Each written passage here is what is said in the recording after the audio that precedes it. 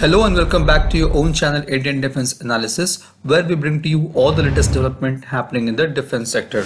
On 22nd June 2023, L&T and DRDO signed a contract for realization of two air-independent propulsion AIP system modules for Kalvari class of submarines of the Indian Navy.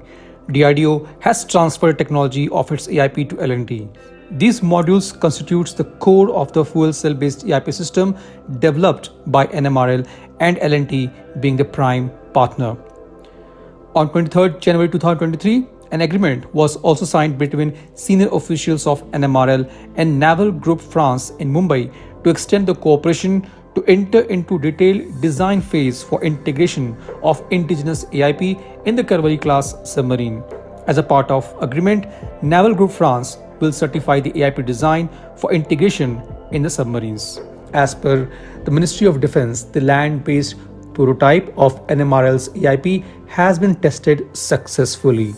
This new endeavor will be a significant step towards the detailed design certification of the energy module, which will be performed by NMRL along with Indian industry and design of the platforms impacted by the integration of indigenous AIP system inside the submarine by Naval Group.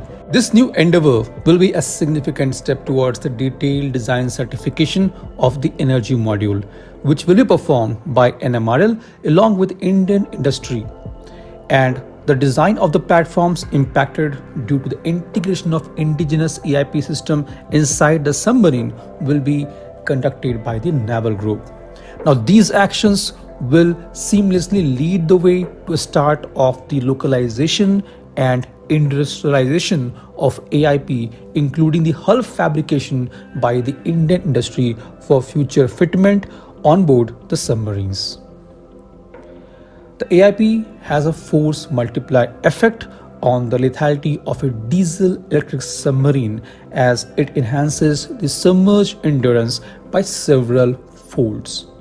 The DRDO's 270 kilowatt fuel cell based AIP system uses phosphoric acid as an electrolyte that reacts with hydrogen which is generated from sodium borohydride and liquid oxygen to generate electricity the fuel cell aims to give endurance of up to 14 days to a conventional submarine.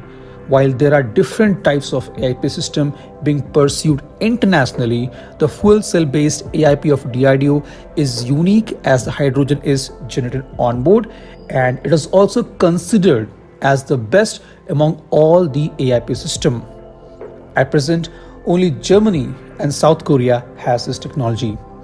The AIP will be retrofitted into existing submarine hulls by inserting an additional hull section. On 8 March 2021, DRDO has demonstrated the land-based prototype of fuel cell-based AIP. It was operated in endurance mode and max power mode. The DRDO is also working to develop a module which has to be fitted on submarine when it comes for retrofitting. There are industry partners including Larsen and Toubro and Thermax and the Naval Materials Research Laboratory of DRDO which has developed this. This was today's update. Please let us know your views on this in comment section. If you like the video, do not forget to like, share and subscribe. With this, I would like to say goodbye and Jai Hind.